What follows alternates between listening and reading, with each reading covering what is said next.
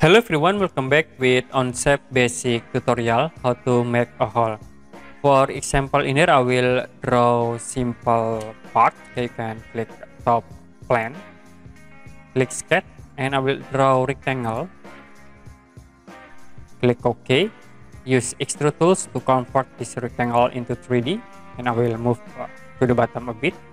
Click OK in here if you want to create holes in uh, this part. Like we need to use uh, these uh, hole tools. But first I will draw points as reference. You can select at this space click sketch and click this icon point. I will create at this point. You also can set for dimension distance. In uh, x-axis I will set into 10 and for y-axis we set into 10 if you're done, click OK. And now click Hole Tools. Select this point, it will be automatically applied. You also can set and it like I will set into ISO. This for ISO. And for hole type like tapered. Size into M4. If you done, click OK.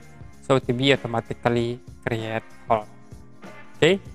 This is very easy. You only select artist space, sketch, and we create point in here. Okay. Now use hole tools. Select a point and set for ISO like into custom. Like in here for diameter, I will set into 10. This for custom.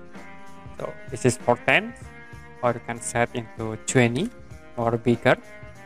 Click OK so it will be create call okay that's it. How to make call in OnShape and if you have any question about this tutorial you can comment below this video